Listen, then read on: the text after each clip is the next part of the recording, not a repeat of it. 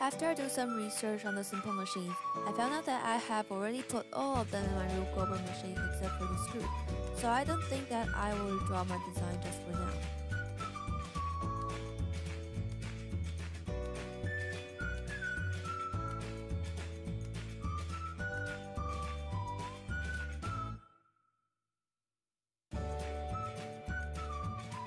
For this part of the machine, when something pulls that string, this marble will go down because of this incline plane and will drop on this lever and this heavy thing will fall down. For This part of the machine, when this heavy cube fall down to the ground, this, whatever it is, will go up and leave this golf ball below because of the pulley and because it is lighter than this cube. And the golf ball is free to go so it will roll down and go to a curve over here because of the force and the lever and the string and the will tick.